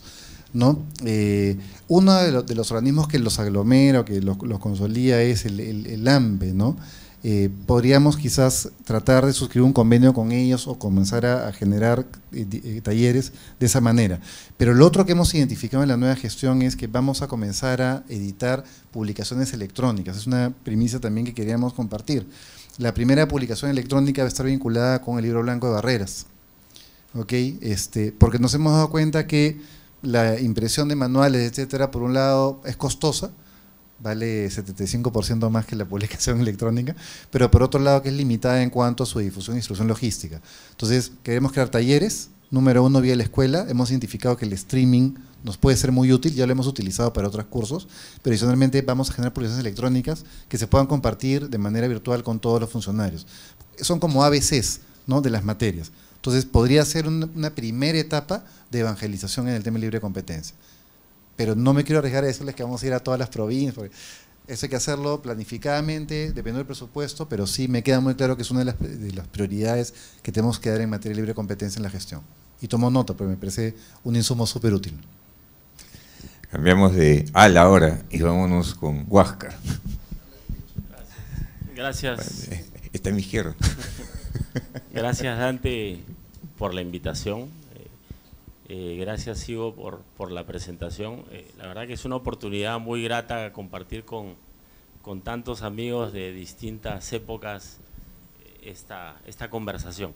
Te felicito por la presentación, te felicito por, por haber decidido asumir esta, esta responsabilidad tan grande y, te deseo lo mejor. Ahora, hablemos un poco, yo quisiera salirme del ámbito específico de libre competencia, del cual sinceramente no, no me siento experto en absoluto, y quisiera de repente hacer un comentario sobre algo más general, y, y, de repente lo pongo en estos términos, ¿cuál es la herencia eh, que te ha tocado? ¿no? Eh, yo comparo el Indecopi de hoy con el Indecopi de, de los noventas, eh, cuando escucho tu presentación, y, en buena parte eh, el problema sigue siendo el mismo. Tú nos hablas de una comisión de libre competencia de 25 personas, sin embargo es insuficiente para atender la, demanda existente. y en el Indecopi de los 90 recuerdo que la comisión probablemente tenía dos o tres miembros y el diagnóstico era exactamente el mismo no nos abastecemos. Eh, y, creo que ahí hay un problema de fondo. Recuerdo también en los 90 se hablaba de que el Indecopi tenía vocación de difundir la cultura de mercado, lograr que esto cale y desaparecer. Hoy día queda claro que Indecopi eh, está aquí para quedarse. Eh, y, que el asunto es cómo, cómo crecer mejor, cómo fortalecerlo para una, un ejercicio más efectivo de sus competencias. Entonces, yo lo que siento es que hay que hay que trabajar de un modo eh, muy, muy eh, efectivo en, eh, en que la competencia, en que Indecopi se genere competencia, en, que Indecopi se genere competencia interna para brindar un mejor servicio y que el Indecopi siga trabajando en también generarse algunos mecanismos de competencia externa para brindar un mejor servicio. Entonces, siento que tienes como parte de tus retos también el, mejorar el diseño de tal forma que garantizarnos que mañana más tarde, cuando Ivo Galiufi no esté acá, no obstante que Indecopi va a tener que atender una demanda mucho mayor que la actual, ha sentado las bases para que Indecopi pueda brindar un servicio más eficiente. Hoy día lo que está pasando, en mi perspectiva de, usuario, es que Indecopi no se abastece. Y si no hacemos algo radical, eh, Indecopi cada vez se parece más al Poder Judicial. Eh, pilas de procedimientos administrativos, expedientes administrativos acumulados, eh, usuarios esperando el día en que llega la resolución, doble instancia administrativa, triple instancia administrativa. La verdad es que muy parecido al Poder Judicial, con la ventaja de que el mal de la corrupción no ha afectado al Indecopi. Por lo menos así lo creo. Entonces, Visto esto en perspectiva, algo hay que hacer, porque definitivamente el asunto eh, se va a poner más complicado cuando tú y yo ya no estés acá. Recuerdo que Indecopi tenía mecanismos internos de competencia entre sus órganos. Ejemplo, se comparaba eh, a las comisiones entre sí contra el nivel de confirmación de resoluciones del tribunal de cada una de ellas. Eso hoy día se sigue haciendo, podemos pensar en mecanismos más creativos para generar competencia interna, yo estoy seguro que sí. Y eso impacta mejor servicio. Recuerdo que en los 90 se publicaban estadísticas que reflejaban cómo las oficinas descentralizadas atendían los expedientes, cuáles eran las más demoronas y cuáles eran las más rápidas.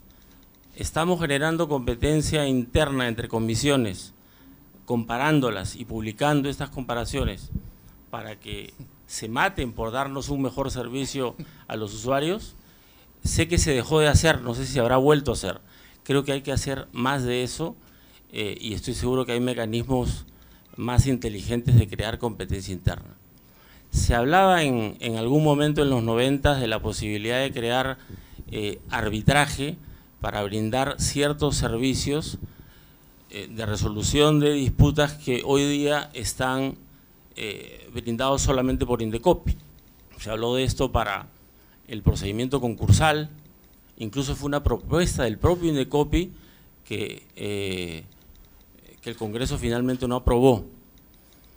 Eh, se está pensando en mecanismos de descentralización eh, en este sentido, que vayan más allá de oficinas descentralizadas, sino que incluso busquen aprovechar el arbitraje para brindar un mejor servicio, crearle competencia al propio Indecopi y de esa forma sentar las bases para en algún momento poder mirar al Indecopi y decir, ahora sí se brinda un mejor servicio al usuario. Creo que eh, en eso hay que ser muy creativo. Siento al menos de lo poco que sé desde fuera, Ivo, que, que lo que se está haciendo no se conoce, si es que algo se está haciendo. Y, creo que es ahí donde realmente tu gestión puede marcar una, una gran diferencia, si es que nos dejas un diseño capaz de afrontar el reto no solo del presente, sino principalmente el reto del futuro. Gracias. Muchas reflexiones, estamos ya cerrando el tiempo y todavía tengo... Sí, eh, simplemente dos minutos. La pregunta es bien institucional, ¿no? Y, y, a mí se me genera la obligación de responder, porque son, temas que quiero aprovechar la oportunidad para, comentarlos. Eh, eh, efectivamente, ¿no? la visión que tenemos en el nuevo Consejo Directivo, pues no solamente el presidente del Consejo, sino los cinco miembros de, del Consejo Directivo, es dejar una huella importante en el Indecopi. ¿Cómo se deja una huella importante? No se deja una huella llevando a foja cero todo lo hecho. Así no funcionan las cosas. O sea, la visión que hemos tenido ha sido, en primer lugar, institucionalidad. ¿Qué significa eso? Respetar todo lo que se ha hecho bien en los últimos 25 años, en respeto a todos los que han estado en el Indecopi, y mejorar lo que se puede mejorar. Esa sería la primera premisa. Segunda premisa, somos conscientes que en el Indecopi manejamos siete áreas. Tenemos libre competencia, protección al consumidor, concursal, represión de la competencia y publicidad, dumping, subsidios y barreras para arancelarias, eliminación de barreras burocráticas, propiedad intelectual en signos, patentes y derechos de autor. Y es difícil, de una u otra manera, encargarse siete funciones que en otros territorios o en otros países son manejados por siete instituciones diferentes. El reto es que esas siete áreas que nos han encomendado sean, tengan un mismo común denominador, una, una misma línea, que es el correcto funcionamiento del mercado. Eso empodera mejor al Indecopi. ¿Dónde están los puntos de quiebre? Coincido completamente contigo en el sentido que el Indecopi tiene que eh, impulsar un cambio para que pueda eh, no solamente resolver a tiempo, sino tener un mayor impacto, como decía Eduardo. En otras palabras, somos conscientes que el Indecopi tiene que virar la matriz hacia todos los temas preventivos de impacto general, es decir, ser un Indecopi con más monitoreo, con más fiscalización, con más planificación. ¿ok? Y ahí queremos invertir recursos, sobre todo en lo que es gerencia, supervisión y fiscalización, que es el brazo investigador de, de campo del Indecopi. Dos, ¿dónde vamos a disminuir también de manera general con el Indecopi Digital? Es el programa que aprobó el Consejo Directivo, ya lo puedo hacer público. Indecopi Digital consiste en, evidentemente, digitalizar o llevar a mundo virtual todos los procedimientos y servicios que brinda el Indecopi. El programa es un programa a mediano plazo, esperamos tenerlo ya más o menos en matriz para el 2018, pero el reto va a ser ahí que todos los ciudadanos vean que el impacto que ha dado la gestión es que el Indecopi ahora puede ser asequible a cualquiera de manera remota, de manera simple y resolver rápidamente. Algunos temas que van a ver en la práctica con productos tangibles es la notificación electrónica, que ya establece el nuevo paquete simplificador. Indecopi ya está trabajando en el muy corto plazo en que todos los procedimientos, por ejemplo, se notifiquen de manera electrónica lo que queremos hacer es volvernos una entidad mucho más dinámica, ágil, célere, eh, de, alto impacto utilizando tecnologías. Ese es un, primer reto. El segundo son los cambios normativos. Estamos detrás de cambios normativos en esta primera curva de seis meses, vinculados a consumidor, a barreras burocráticas, a competencia, a propiedad industrial. Y los cambios normativos lo que han perseguido en todos los campos ha sido en simplificar y acelerar los procedimientos no nos queremos convertir en un poder judicial de consumidor de competencia.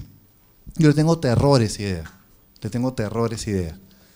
Y soy consciente que hay que trabajar en ser un Indecopy rápido, light, dinámico, con alta calidad resolutiva, ¿de acuerdo? Y para eso me va a servir la tecnología en la nueva gestión. Por último, que, que es un tema apasionante, pues el tema de la gestión completa, es qué herramientas por, eh, generales vamos a utilizar, no solamente en competencia, ojo, vamos a utilizar compliance de manera transversal para consumidor, para competencia, para competencia la publicidad y para barreras. Son cuatro programas de compliance que vamos a trabajar. ¿Por qué? Porque el compliance lo que genera, como bien decía Pepe y también Armando, es genera prevención. Generando prevención disminuye casuística. Esa debería ser la ecuación. A veces funciona, a veces no. Otro tema que vamos a impulsar, aparte del compliance, autorregulación pura, en base también a lo que hemos conversado una oportunidad con Alex. Somos conscientes que si no identificamos mecanismos de autorregulación con bonificaciones a quienes hagan las cosas bien, nos vamos a seguir dando de casos. Un ejemplo concreto bien interesante ha sido el 1308. El 1308 es la norma que modifica el Código de Consumo. Y lo que ha perseguido principalmente es privilegiar lo que se denomina la autocomposición. Es decir, que los casos no lleguen al Indecopi, sino que generemos incentivos para que las partes autocompongan de manera privada y directa sus conflictos. La visión del Estado moderno, desde nuestro punto de vista, debe ser promover, número uno, compliance, conocimiento de las materias para reducir y para generar conciencia, no solamente para que no te multen, sino para generar conciencia que hay que hacer las cosas bien. Es parte de una buena práctica corporativa. En segundo lugar, impulsar autorregulación, pues son mecanismos directos de privados y que reducen costos al Estado. Tercero, el dinero del Estado, los recursos del Estado, invertirlos principalmente, no es cerrar el caso del peluquero con la clienta, sino el gran caso del monitoreo de sectores delicados, de alto impacto general, donde la ciudadanía perciba que el Indecopi está haciendo mejor su trabajo. Vamos a apuntar, Huáscar, a eso. podemos fracasar en el intento, pero lo vamos a intentar de todas maneras. Y el Consejo Directivo respalda esa posición al 100%. Sobre el tema del arbitraje, y este, eso es mejor para otro momento para conversarlo, nunca me voy a olvidar, eh, me ha hecho acordar, eso fue hace 15 años, este evento concursal en el Hotel Sheraton. Nunca me voy a olvidar, tú eres secretario técnico, si me equivoco. Y tú propusiste el arbitraje concursal. No una propuesta bien audaz. Me acuerdo claramente cuando el doctor Juan Luis Avendaño, como presidente de esa comisión, contestó la propuesta, porque fue lo que generó la mayor discusión en el evento. Y hay un tema importante, ¿no? El arbitraje, nosotros partimos de la premisa que soluciona cuestiones donde hay de una otra manera interés privado en juego. Hay una línea muy gris entre, en los temas de libre competencia, principalmente de que los arbitrajes puedan eventualmente cerrar casos entre privados cuando el impacto es a nivel público. Entonces, el tema del arbitraje todavía vamos a darle muchas vueltas, al menos a nivel de libre competencia y de concursal también, donde ya se está implementando en consumidor, porque hay casos puntuales que se cierran directamente. Pero igual siempre vamos a dar vueltas. Todas las propuestas, todo lo que permite innovar, todo lo que permite simplificar la vida de la gente, acercarle esto al ciudadano, vamos a estar detrás de eso. Gracias. Jocelyn, y te ponemos el reloj.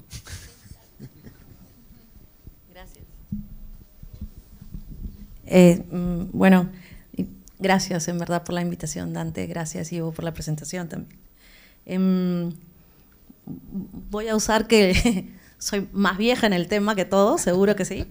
Y voy a ser eh, un poco crítica. ¿no? En el tema de abogacía y la competencia, eh, saludo que se hagan. Obviamente, que no se hagan sería peor, pero creo que es más frustrante saber que parte de las autoridades no sé qué parte han implementado y qué parte no.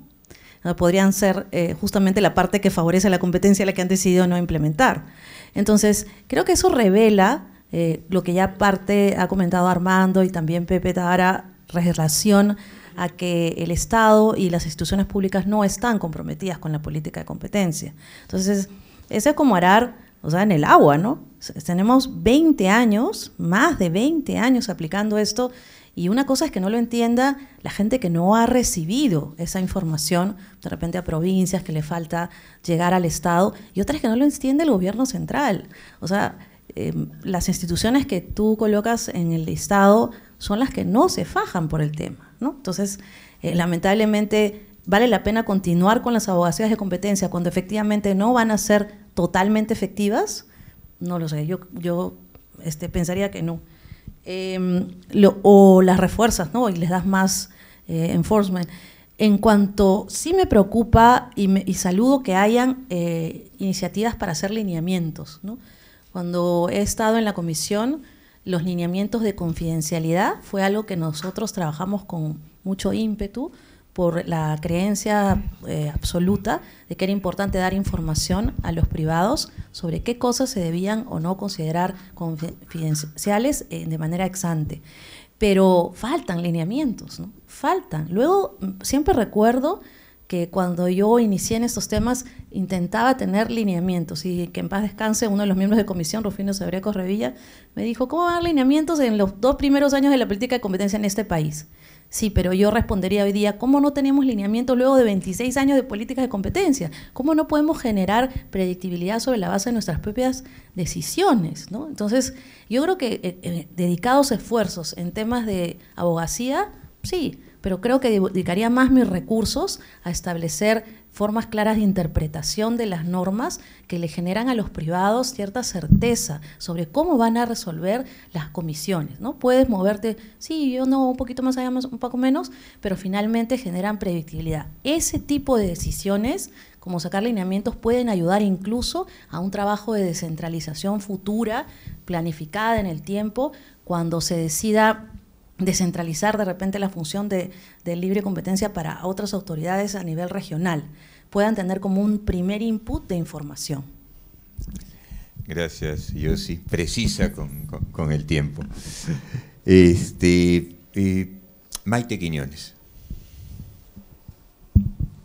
Bueno, me sumo a los agradecimientos a, la Escuela eh, Nacional de Administración Pública, Dante y a Ivo por su presentación. Eh, tres temas, a ver si cumplo con el tiempo también. El primero, en línea con lo que mencionaba yo, lineamientos. Y voy a la ley antimonopolio del sector eléctrico. Hoy en día se habla del control, la posibilidad de extender el control de concentraciones a, todas las actividades económicas. Existe solo en el sector eléctrico. Eh, la norma data de bastantes años, 2006, no me acuerdo, 2006 me parece 96, 97, peor todavía, 10 años más le había aumentado. Y sin embargo, un, reglamento muy escueto y hay muchísimas dudas en cómo interpretar y aplicar esta ley. Muchísimas dudas. Con frecuencia uno iba a tocarle la puerta a la Secretaría Técnica y básicamente te contestan, mira, la verdad, eh, no sabemos, o sea, acá todavía no se ha pronunciado pues eh, la sala, entonces no hay, no, hay, no hay posibilidad de conocer qué va a pasar. Entonces, eh, sería vital, lineamientos. Además, este es el globo de ensayo, porque si ni siquiera funciona bien el control de concentraciones en el sector eléctrico, difícilmente va a funcionar en el resto de sectores. Entonces ahí yo creo que hay un primer reto, no estaba en la lista de agenda pendiente y mi sugerencia sería meta en el tema del sector eléctrico y también capaciten internamente a su gente en temas de actividad eléctrica porque con todo cariño digo que a veces han habido sentencias en las cuales, resoluciones en las cuales no necesariamente había un conocimiento pleno de algunos aspectos del sector eléctrico que pudieran afectar las decisiones. El segundo tema es este, distorsiones a la libre competencia. Uno de los supuestos de distorsión a la libre competencia que no estaba en la presentación, pero que yo creo que todos coincidimos, es la actividad empresarial del Estado con infracción del artículo 60 de la Constitución. Porque el Estado compite deslealmente con recursos y además, peor aún, porque el Estado utiliza recursos que lleva a utilizar recursos en actividades que pueden ser atendidos por los privados y detrae esos recursos de actividades en las cuales el Estado es insustituible, como la salud, la educación y, servicios esenciales. Entonces, en ese sentido, ¿cuál es la abogacía por la competencia del INDECOPI? Acabas de hablar de la UNI proponiendo revisar, eh, prestar el servicio o competir con el Turing en el tema de de licencias de, exámenes de manejo y se me pararon los pelos. Porque ¿qué tiene que hacer la UNI si hay privados que pueden atender? Hay un pronunciamiento de Indecopi justamente en ese tema, en el tema de las clínicas del ojo, de la Universidad de Puno. Entonces, este, y Petroperú queriendo realizar actividad de exploración y otras actividades. Entonces, ¿qué tiene que decir Indecopi al respecto? Y el eh, tercer tema, programa de clemencia, valdría la pena también no queda claro si yo voy a Indecopi a, a, cogerme este programa de clemencia, de repente le muestro toda la información y no sé si Indecopi de repente me dice, no, no es suficiente, no es suficiente valor agregado y yo ya le mostré todo a Indecopi y, y, de repente pues me dejan a mí más bien entregado a, a, que me, a que me castiguen, ¿no? Entonces, esa discrecionalidad nos ha llevado a nosotros como abogados a muchas veces a decirle a nuestros clientes, ojo, ¿ah? Te estás corriendo este riesgo si te quieres acoger al programa de clemencia. Y la respuesta de nuestro cliente ha dicho, ah, no, entonces mejor no lo hago. Entonces, valdría la pena, o sea, es un disuasivo y valdría la pena quitar ese elemento y más bien hacerlo al revés.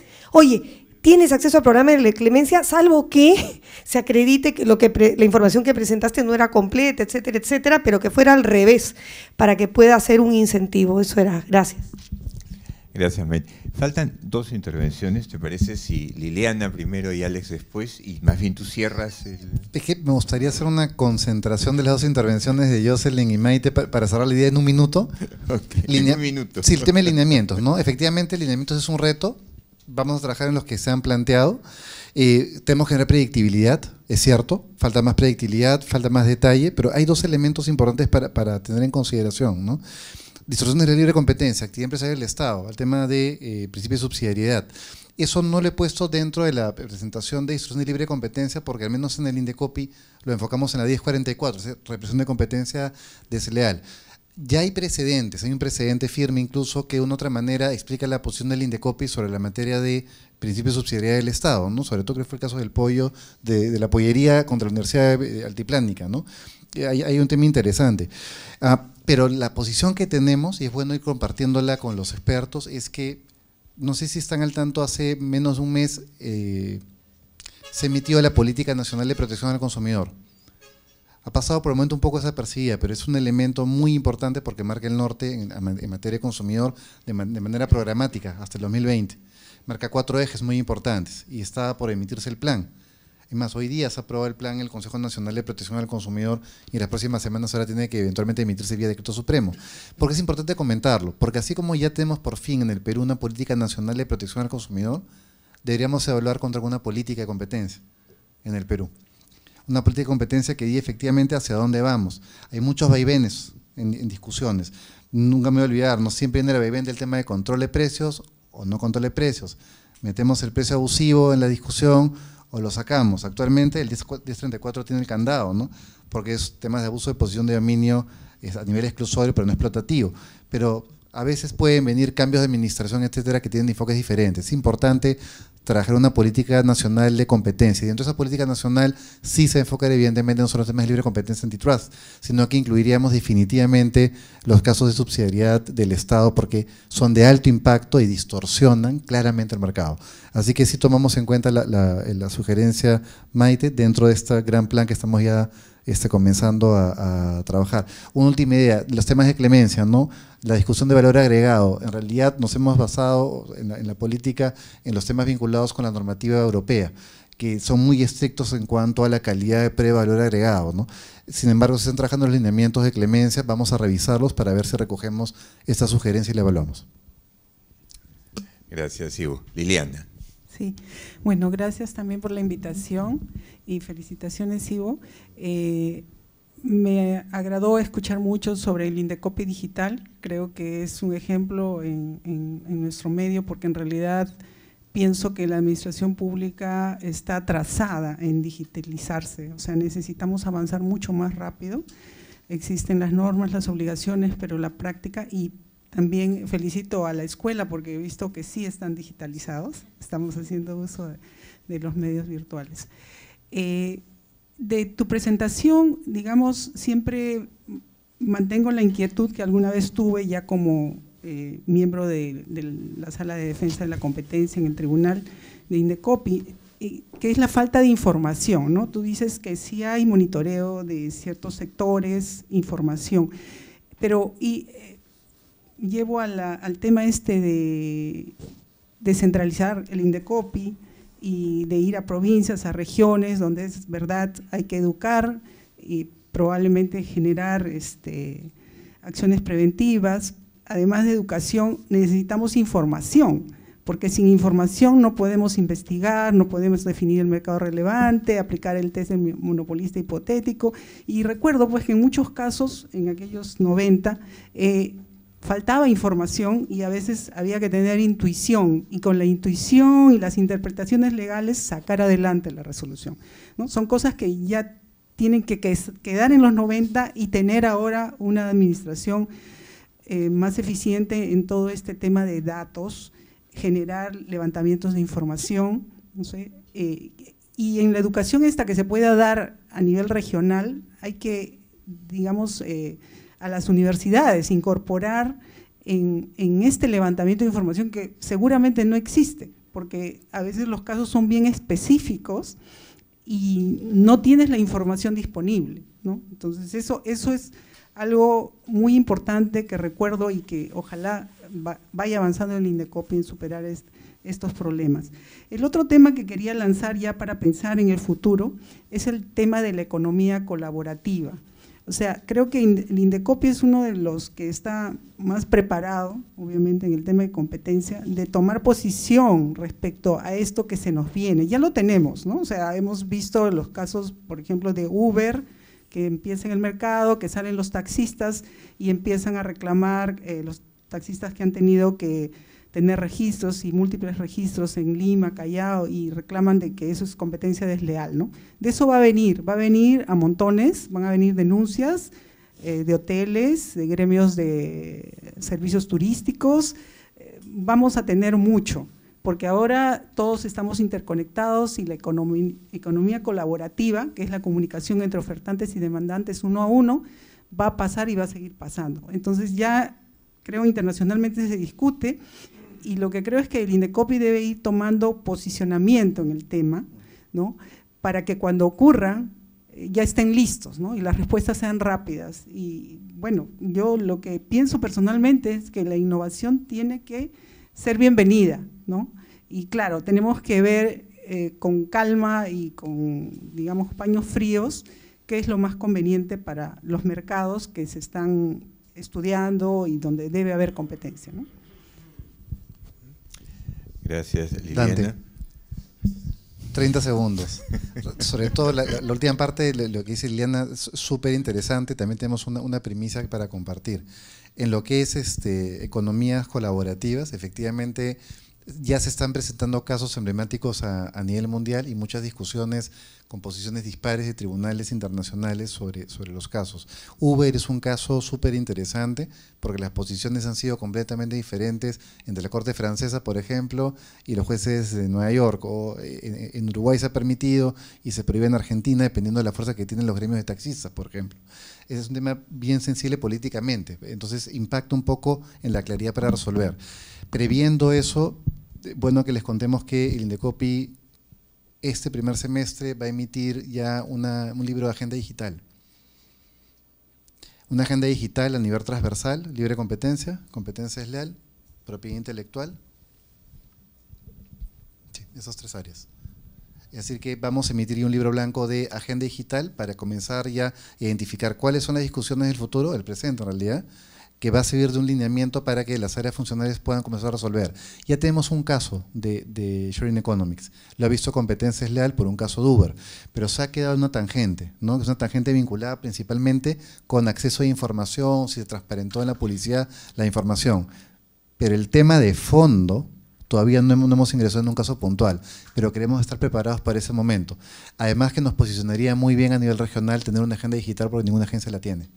Así que estamos ya trabajando en eso, calculamos que en tres meses estaría listo. Muy bien. Alex. Bueno, gracias Dante por la invitación y felicitar a Evo por el encargo, el gran encargo que tiene entre manos y por el reto que ello significa.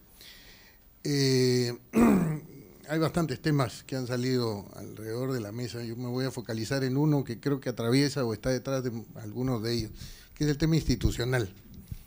Eh, creo que ya es hora de repensar un poquito si el diseño institucional de Indecopi y del área de competencia en particular tiene que ser eh, ajustada. Eh, creo que seguimos montados en el desarrollo de un modelo eh, que surgió en algún momento en los noventas y que bueno ha rendido sus frutos y que de pronto nos, seguimos mirando hacia el 90, ¿no? De pronto yo diría, ya no hay que mirar hacia el 90, sino hay que mirar hacia adelante. Eh, y mirar hacia el 90 para ver las cosas que de pronto funcionaron bien y algunas otras que de pronto dado el cambio de circunstancias, merecen un ajuste. Y, voy al punto, creo que, mm, sí, soy honesto, me hubiera gustado en la agenda ver eh, como uno de los puntos y de pronto arriba de los puntos, el, oye, darle una repensada al tema institucional del manejo de estos temas en Endecopi que pasa por un repensar también eh, en todo lo que pasa en las otras áreas, porque el manejo y protección al consumidor al final va a impactar positivo o negativamente en lo que se hace en esta área. Si no solucionamos el cáncer que puede significar alguna de estas áreas, bueno, al final va a afectar a, lo que pasa en estas áreas. Eh, hay que repensar el diseño mismo de, de tener una secretaría, asociada a una comisión o a un tribunal, eh, formalmente independiente pero dependiente, eh, que pone límites a, reglas, a principios de debido proceso. Creo que ya hay que empezar a explorar modelos donde completamente se separen el que va a decidir y quien investiga eh, hay que pensar en, el, en, lo que pasa luego en Decopi, ¿no? En lo que pasa en el Poder Judicial. ¿no? no quiero hacer memoria de lo que todo el mundo conoce, de lo que significa en la revisión de los casos en el Poder Judicial. Pero bueno, yo siento un poco de vergüenza cuando salgo fuera y me cuentan experiencias de otros países donde la revisión judicial de la Suprema te demora un año, ¿no? Y donde la Suprema le enmienda la plana en temas de fondo, económicos, a la propia autoridad de la competencia. Creo que hay, que repensar esos aspectos, como hay que repensar también el esquema de designación de funcionarios, que creo que es uno de los candados que hasta ahora nadie se ha animado a ponerle un cerrojo. ¿no? Eh, creo que ya hay un ambiente, no sé si es el ambiente político para aprobar esa reforma, pero creo que por lo menos para empezar a discutir en mesas como estas, hoy el diseño. Eh, y, la iniciativa de pronto, si sale de la propia institución, va a, tener una mejor lectura y acogida. Ese es mi punto. Gracias, Alex. Y antes de que Ivo pueda cerrar, cerrar la noche, decirte, Alex, que este, la ley del servicio civil, si seguimos empujando y hacemos que realmente, simplemente, va a despejar muchos de tus fantasmas y muchos de los miedos que puedas tener respecto a la designación en general de funcionarios, no solo en el INDECOPI, sino en toda la administración pública. Así que apostemos por la ley del servicio civil y por su implementación. Luego, este Publicherry, Ivo, por favor, para que concluyas. Sí, Alex, gracias por la intervención. O sea, sin duda, ¿no? los temas de revisión institucional siempre se están revisando. Claros ejemplos que ya ha dado la, la nueva gestión es por ejemplo, ¿no? en lo que es barreras burocráticas, se ha repensado completamente el diseño del procedimiento a través de la nueva ley y aquí sí se ha considerado conveniente, y adelanto también un poco a lo que estamos revisando, estamos evaluando la posibilidad de la creación de una sala especializada en barreras. ¿Por qué? Porque la materia se ha vuelto con mucho peso, muy compleja e incluso absorbe casi las dos terceras partes del trabajo de la actual sala de competencia. Entonces se está rediseñando y eventualmente se crearía una instancia especializada en, libre, en propiedad intelectual, por ejemplo, ¿qué se ha hecho? La, con la 1309 se ha rediseñado el procedimiento y ya todos los casos no contenciosos de propiedad intelectual ya no los ve la sala, sino que los ve la comisión como segunda instancia. Es decir, la primera es la dirección de signos, la segunda es la comisión. Eso reduce los tiempos de 180 a 30 días para resolver un caso de marcas no contencioso. En el tema de competencia sí debo ser muy prudente perdón, en el rediseño. Em, y, pero sí somos conscientes que, por ejemplo, OCDE da una serie de recomendaciones bien puntuales. La primera, vamos desde lo más radical hasta lo, hasta lo más eh, eh, equilibrado. OCDE, por ejemplo, lo que recomienda es que las agencias de competencia no dependan de ningún ministerio de Poder Ejecutivo, sino que sean OCAS, organismos constitucionalmente autónomos de preferencia. ¿Ok? Indecopi tiene una autonomía funcional, económica muy sólida con ser injerencia a otras entidades del Estado, pero la OCDE recomienda siempre incluso a todas las entidades salir de la esfera. Es interesante porque da para repensar el tema. Segundo tema, el tema del diseño de secretaría. Efectivamente, hay una serie de propuestas que parten de un cuestionamiento al hecho de que el secretario técnico sea el fiscal y al mismo tiempo proyecte la resolución. Es una, es una observación que se está planteando. En experiencias de agencias eh, pares o benchmarks está la de Chile. En Chile, como tú sabes, hay una fiscalía que es la que acusa y un tribunal que es el que resuelve, con una clara diferenciación de equipos humanos y hasta de sedes. Es interesante revisarlo también. Así que siempre lo tenemos en, la, mira. Por último, el tema del Poder Judicial es lo más complejo, pues no depende tanto de nosotros en Ejecutivo, sino que depende también de una revisión a nivel del Poder Judicial. Estamos buscando un acercamiento con el nuevo presidente del Poder Judicial precisamente para revisar los temas vinculados con los procesos. Hay uno que ya hemos impactado en lo que es, por ejemplo, barreras burocráticas. Cuando eventualmente se lleva un caso de barreras al Poder Judicial, ya no va a la primera instancia, al juez de primera instancia, el caso sino que va como primera instancia a la Corte Superior. Eso lo que nos trata de llevar es a que un órgano colegiado lo revise más rápido, la Corte Superior resuelve más rápido la primera instancia, curiosamente, y que la Suprema sea eventualmente la segunda. En libre competencia, el promedio de resolución de los casos está en 8 a 10 años. 8 a 10 años, es el promedio más alto. En barreras estamos en 5 a 4. En consumidor estamos en 2 a 3. Pero en libre competencia claramente el tema este, no funcionaría de, la manera ideal. Así que sí vamos a por lo menos tratar de revisar también a nivel judicial una instancia única, como ocurre en otras jurisdicciones, o algo mucho más eh, rápido, quizás a doble instancia, sin casatoria. Pero tenemos que revisarlo con mucha eh, prudencia y negociarlo con el Poder Judicial. Pero créanos que todo lo que simplifique, todo lo que acelere y mantenga la calidad, lo estamos ya revisando y nos estamos guiando no solamente por experiencias internas, sino nos estamos basando mucho en los socios externos, ¿no? Eh, sobre todo en dos. A nivel de Alianza del Pacífico conversamos mucho con Chile y con Colombia para ver experiencias. Y a nivel internacional estamos muy enfocados con OCDE y con, ICN, ¿no? Y estamos tratando de recoger esas experiencias para implementarlas eventualmente. Va a haber novedades quizás de política en los próximos meses, pero tengan la seguridad que se está viendo. Gracias, Ivo. Se, nos quedaron un par de, de intervenciones en el tintero, pero ya estamos, ya estamos sobre la hora. Muchísimas gracias a ustedes, gracias también por sus intervenciones. Eh, bienvenidos siempre a la escuela, esta es la Escuela Nacional de Administración Pública.